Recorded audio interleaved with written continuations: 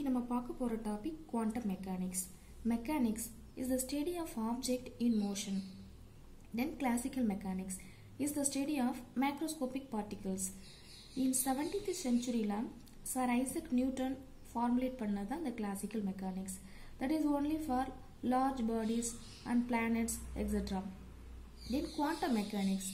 Quantum mechanics is the study of microscopic particles such as protons, neutrons, electrons, atoms and molecules and so on. Classical mechanics உடைய assumption only for macroscopic particles. Assumptionல all systems whose position may be accurately determined as a function of time.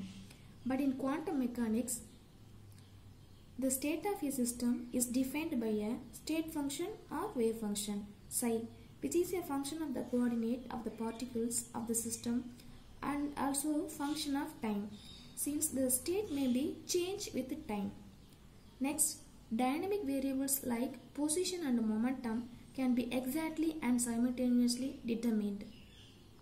But in quantum mechanics, the position and momentum cannot be exactly and simultaneously determined according to uncertainty principle. In classical mechanics, electrons in atoms can take up any amount of energy between 0 to infinity.